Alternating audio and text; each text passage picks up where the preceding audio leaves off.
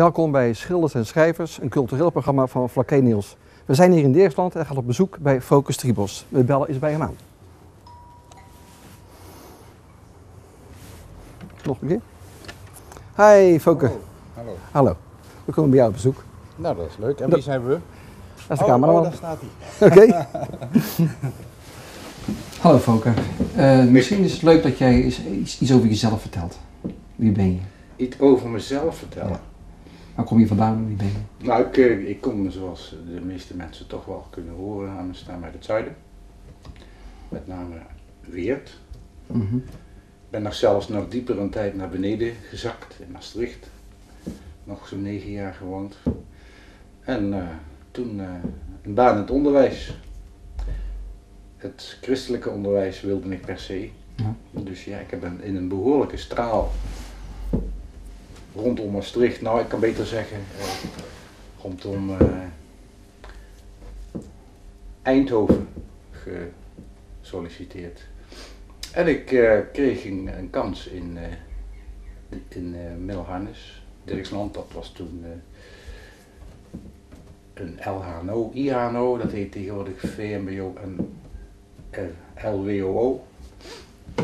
En ja, daar ben ik begonnen met mijn docentschap. Toen was je al kunstenaar. Ik eh, kwam kerstfest van de academie. Mhm. Ik had in Breda ook nog gestudeerd.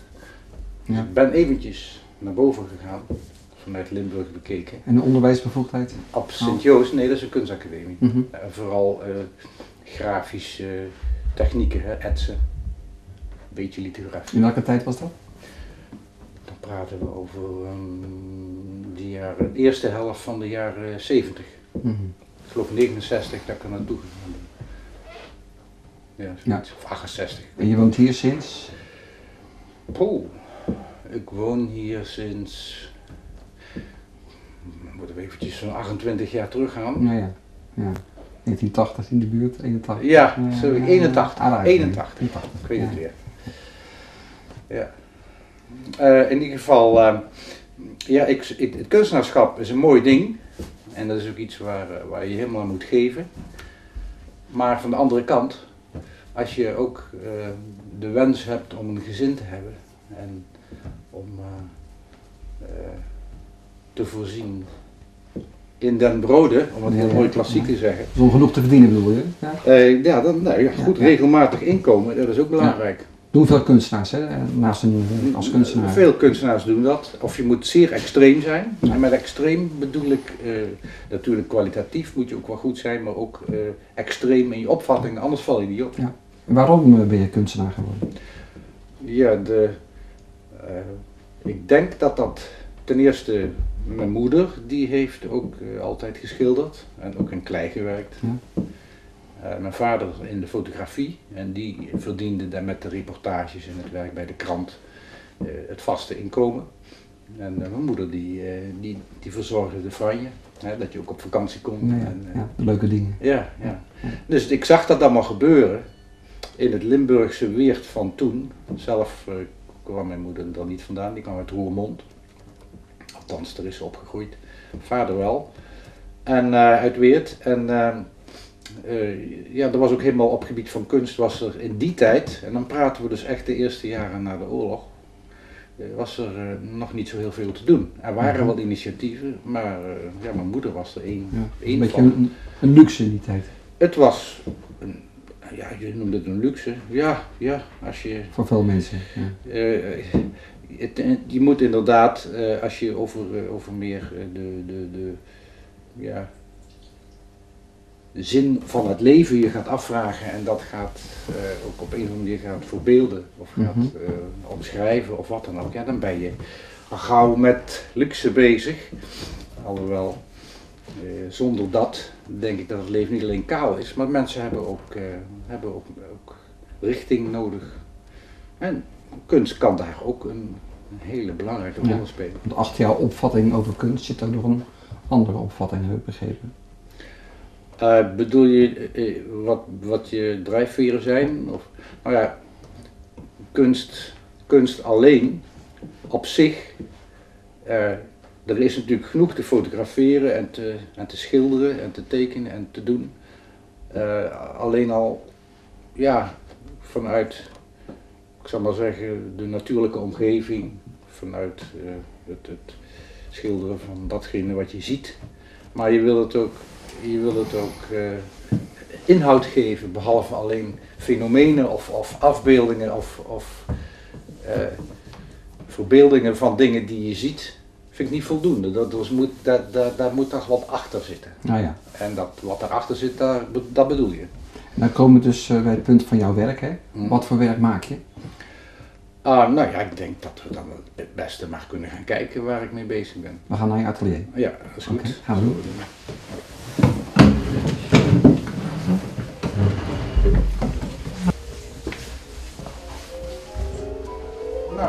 Zo, hier zijn we in jouw eh, atelier.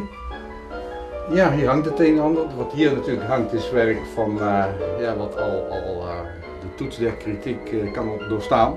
Wat bedoel je daarmee? Nou, dat niet ieder werk goed is wat je maakt. Eh, ik heb stapels, stapels werk waarvan ik zeg van ja, dat, eh, ik vind het toch zonde om weg te gooien, want Ja. misschien zie je er nog eens wat in of kun je er nog eens wat mee. Maar het is ook, ook zo dat ik denk van ja, daar zit het niet in. En, eh, en, en vaak zie je dat juist eh, de volgende dag of een paar dagen daarna, of als je een tijdje er tegenaan hebt gekeken, dan zeg je van ja, dat beeld dat heeft toch niet ik noem het altijd maar eh, in zekere zin eeuwigheidswaarde. Hè? Dat, het, dat dat iets geraakt heeft wat. eh, Ja, wat hier hangt, dat, dat heeft jouw goedkeuring. dat is in ieder geval wel, zijn wel dingen ja, waar ik. eh, Kan je ergens iets meer over vertellen? waar wil je wat over horen? Nu bijvoorbeeld daar. Welke die? Ja. Nou, eh, dit is een werk uit de, uit de zeg maar, laatste jaren. Dit is het, het, eh, 2006. Ik ben eh, al, een, al een tijd bezig met het idee doorgang. Of het idee eh, poort, deur. En dan ga ik terug op een bijbeltekst. eh, van wat in Johannes staat. Johannes 10, vers 9. Waar Jezus zegt, ik ben de deur. En dat is voor mij van zo'n wezenlijk belang eh, geworden, maar ook gebleken. En steeds voortdurend kom ik daarop terug, eh, dat ik daar graag over wil schilderen. En meestal is een poort donker, maar die van jou, die doorgang is heel licht, hè? Ja, het is, eh, kijk, eh, het thema deur of doorgang houdt me bezig, maar terwijl ik daarmee bezig ben, eh, ontstaan er ook dingen waarvan ik denk van, ja, is het nou wel een deur? Maar dan is het weer de schilder in mij die, die, die dan weer doet doorgaan, die mij doet doorgaan. En dat ik dan op een gegeven moment als schilderend toch eh, tot een vorm kom waarvan ik zeg, dit, dit vind ik eh, goed zitten, de kleurstelling is goed, maar tegelijkertijd eh, zijn, het, zijn er ook momenten tussendoor waar ik me afvraag van, hey, is het, dekt het het thema? En de ene keer staat dat wat verder uiteen en de andere keer raakt het elkaar niet. En hier? En op sommige momenten valt dat samen. Hoe is dat hier? Eh, hier eh, is het zo'n moment dat het samenvalt. Dat inhoud en vorm, zo heet dat dan, dat dat eh, elkaar Ja, voortkomt. jij spreekt ook over de, in, wel eens gelezen over de, de brede weg, hè? Of de smalle weg. Nou, ehm, ik weet niet zo direct waar je op doelt. Wat doe Nou, laatst in een interview toen had je gesproken over de poort die leidt tot een bepaalde weg. Ja, ja. Nou ja, ik zei al evangelie. Ehm, je kijkt hier een, een ruimte in. Waar, ook, waar je ook kijkt naar iets, iets lichts. Maar tegelijkertijd, en dat is ook hoe je kijkt. Hè? De ene keer zie ik dat als een ruimte waar je doorheen kijkt. En de andere keer ervaar ik het weer als een vorm waar ik tegenaan kijk. Ja, ja. Wat zelf komt. En dan doet het me ook weer denken aan de witte steen. De witte steen die, die ieder zal krijgen waar, waar ieders persoonlijke naam op geschreven staat. Op die manier. En, ehm, is ja, nog een tabula rasa dit. eh. nou, het, het is in ieder geval iets waar, waar je gewoon eh, waar, dat, eh, waar, je- waar je dat allemaal in kunt herkennen. Maar het is wel een wezen. Een wezen ben ik dan wel bezig met dat wat ik zei, de deur die Christus is. Dan ben je ook eh, erg geobsedeerd door de zon, hè? Zonsopgangen, Ja. zonsondergangen. Ja. Heb je daar nog voorbeelden van? eh, Eh, nou, dat vinden anderen ook heel mooi. Dus die zijn zowat, ja, de meeste daarvan, Ja. die heb ik niet meer. Hier heb je nog een, zeggen. een voorloper, maar de abstracte de uitwerkingen daarvan, die hangt hier recht. Die zijn er, niet meer. Nou heb je ook gezegd ooit van een zonsopgang. Nee, een zonsondergang is nog interessanter dan een zonsopgang. Klopt dat? Nou, ik heb het wel eens eh, met uh, geografen over gehad. Van, uh, uh, zit er nou verschil in een zonsondergang of in een zonsopgang? En die konden het me niet uitleggen. Of je daar echt visueel verschil in zag. Ik heb dit wel eens een keer zo beleefd. En zonder dat ik me ervan bewust was van ik schilder en ik ga een zonsondergang schilderen, want dan zegt iedereen ben je helemaal gek. Mm -hmm. Want ja, dat is toch een, een kitsch onderwerp uh, waar iedere, iedereen die zich daarmee bezighoudt zich uh, aan vergalopeert. Maar ik vond dat zo mooi wat ik daar zag. Het was zo fascinerend dat ik dus daar een hele tijd mee ben bezig geweest. En dat heeft me ook weer inderdaad geïnspireerd tot een aantal werken die daarna gekomen zijn. Je hebt ook gezegd, kleur moet, moet een functie hebben. Ja. Vertel eens. Uh, nou ja, waar ik nu, nu, nu aan denk is, dat, is dat een kleur, uh, je kunt niet kopiëren. Je kunt niet iets wat je ziet zeggen van nou dat ga ik kopiëren zoals een foto. Uh, een foto is ook een benadering van, een, van iets wat je ziet. Maar door daarmee bezig te zijn en jouw, de, jouw kleurgevoel, vanuit jouw kleurgevoel en, en jouw kleuridee een, een schilderij vanuit te maken. Uh, daar, daar komt kleurenkennis bij te pas. En uh, uh, ja, dat moet functioneel zijn. Het moet je raken. Het is, het is niet zomaar een, een, een, een afbeelding. Het is iets waar je, ja, waar je doorheen moet of meegaat. Maak je van tevoren een plan? Dat ligt er aan. De ene keer wel, de andere keer niet. Uh, soms doe ik zomaar, ga ik zomaar beginnen. Direct aan de slag. En dan uh, komen er heel verrassende dingen. En dan blijkt na de hand wel dat dat wel ergens mee, iets mee te maken heeft. Van de andere kant uh, is het ook heel goed om die dingen af te vragen. En te denken van wat, ja, wat, voor, wat voor idee zou ik dan willen. En dan moet ik wel een idee hebben over richting. Hè, de compositie, de richting van de kwaststreek of de kleurstellingen. En dan maakt dat weer zoveel in me los dat ik van daaruit dan dat idee wat ik had of heb, uh, kan vormgeven. Met welke materialen werk jij? Uh, ik heb vroeger veel getekend, potlood, houtskool. Daarna ben ik uh, met etsen begonnen. Dat was heel, is heel arbeidsintensief. Toen op de Jan van Eyck Academie in Maastricht ben ik veel gaan modeltekenen. Had ik op de academie al gehad hoor, maar toen modeltekenen, maar ook werken met kleur, kleuronderzoek doen. Dat was voor mij echt wel een hele ontdekking. En uh, aquarellen maken, uh, gouaches maken. Maar echt de aandacht voor de grote kwaststreek, de, ja, het gebaar, hè, de schilderspoot, we zeggen ook sommigen, dat mm -hmm. heb ik pas later uh, ontwikkeld. Kunnen we daar iets van zien, hoe jij aan het werk bent? ik wil, kan misschien gewoon boven la iets laten zien waar ik aan bezig ben. Heel leuk. En daar iets bij vertellen. Goed. Ja. Laten we dat maar gaan doen. Ja. De, ja, wat, wat je dus hier uh, hebt, is een schilderij wat ik aan, aan dat uh, maken ben. Heb ik eigenlijk on, ontwikkeld vanuit dit idee. Uh, daar heb je het weer, die poort. Ja. maar ook, ook een grote diepte. Een, een, een afgrond. En, en hier het licht. Hè? Symbool van voor mij van, van God, van, van uh, ja, het, het, komen tot je bestemming. En als je naar de textuur kijkt, dan is, ben je echt met een het is, paletmes uh, bezig geweest. Paletmes, dit is een uh, spoor van een kwast. Dus er zitten ook kwaststreken mm -hmm. in. Maar dit is nog een, ja, nog een vrij een, een, idee, een schets. Dat is een onvol, ja, onvoltooid natuurlijk. Onvoltooid werk. Ja, maar het, het, het, helpt me wel om ideeën te krijgen. Hè. En uh, kijk, en daar hangt ook zoiets, maar dat vind ik nog te veel, dat vind ik te veel een landschapje worden. Mm -hmm. uh, niet goed.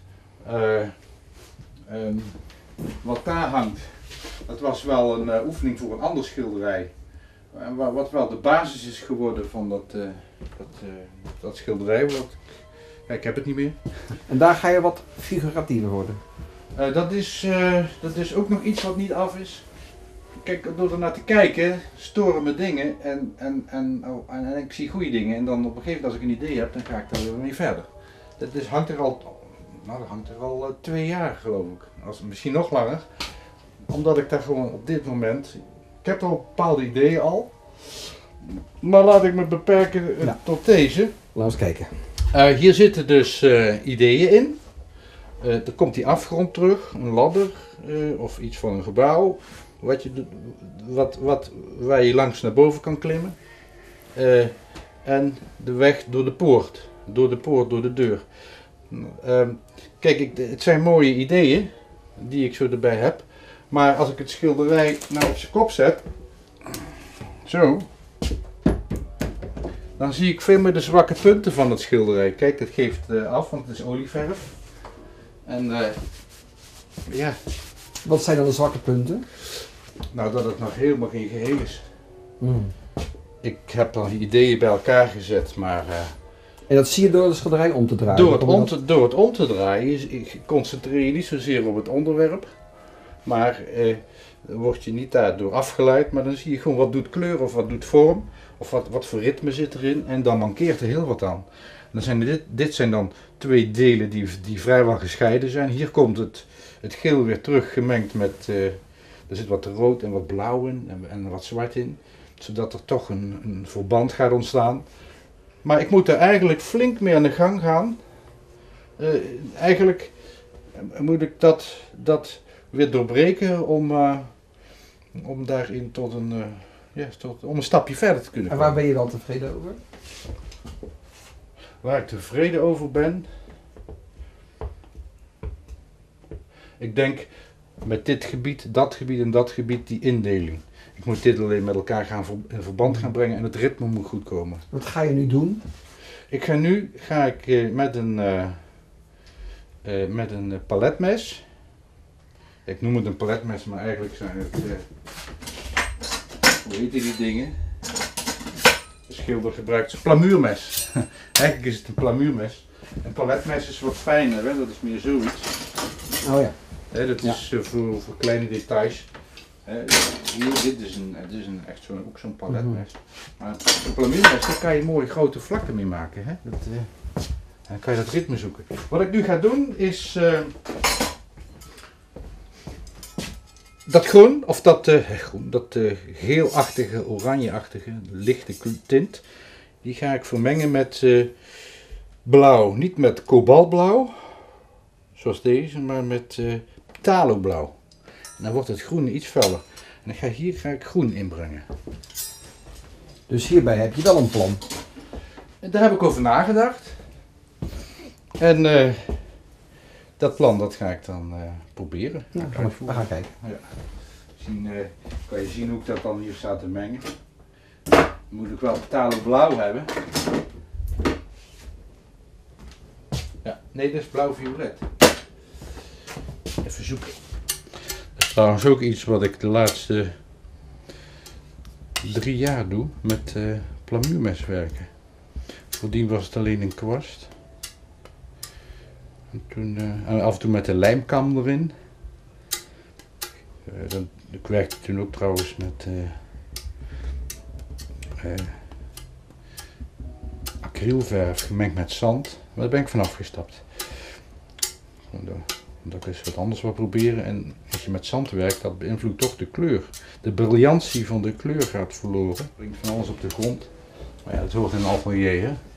Kijk, dit is een ander soort blauw, zie je? Hm, ja.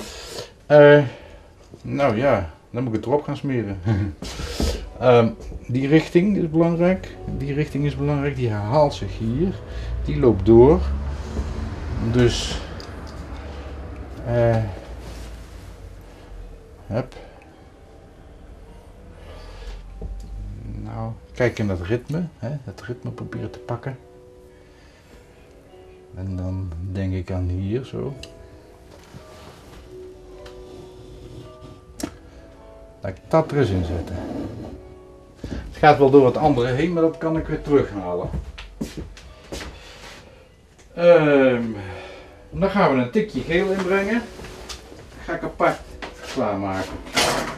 wil dat niet zomaar. Ik wil dit even zuiver houden.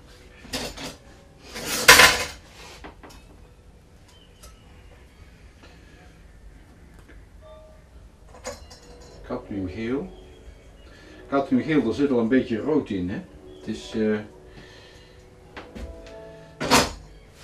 het is een geel met een. eh, ja, heel een beetje neigend naar het oranje toe. Wit. Nou, dan gaan we gaan kijken wat er gaat gebeuren.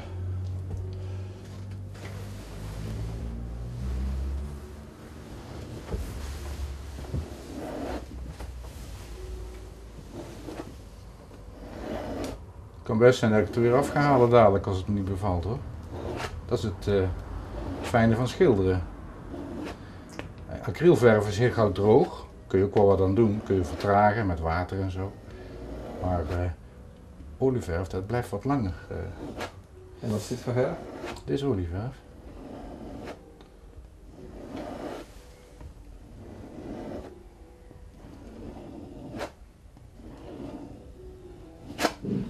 Heb jij een bepaalde stijl? Eh, een bepaalde stijl, nou ja, ik denk het wel. Eh, ik denk dat ik. ehm, ik raak. eh, ik raak heel sterk ge- geïnspireerd door kleur. Dat, dat raakt me emotioneel. Dat, eh, maar kleur zonder vorm is niks. En ik, eh, ik, ik, ik ben bijvoorbeeld niet een schilder zoals die, die alsmaar, eh met die kleuren bezig is en niet tot vorm kan komen.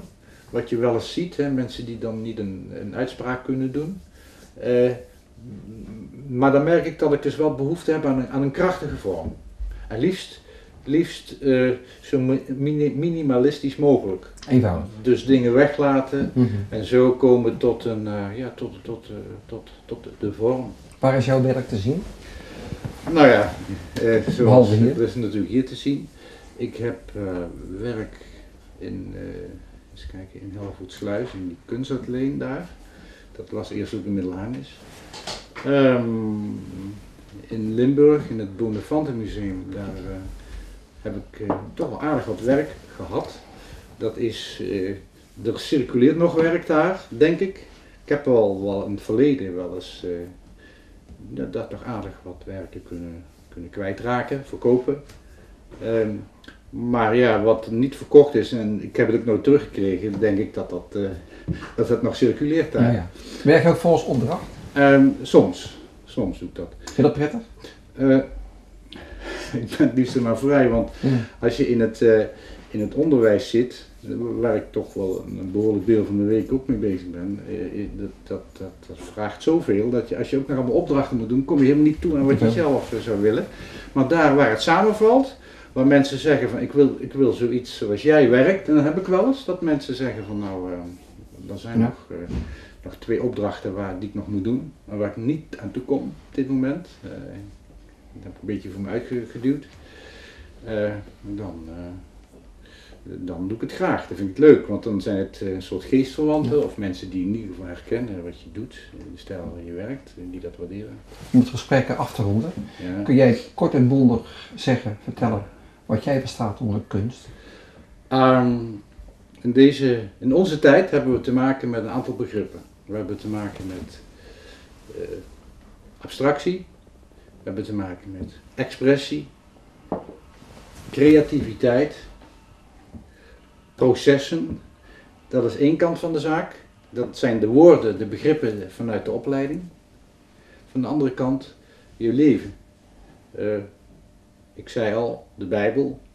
eh, de Bijbel kent het woord creativiteit niet, maar wel het woord heiligmaking.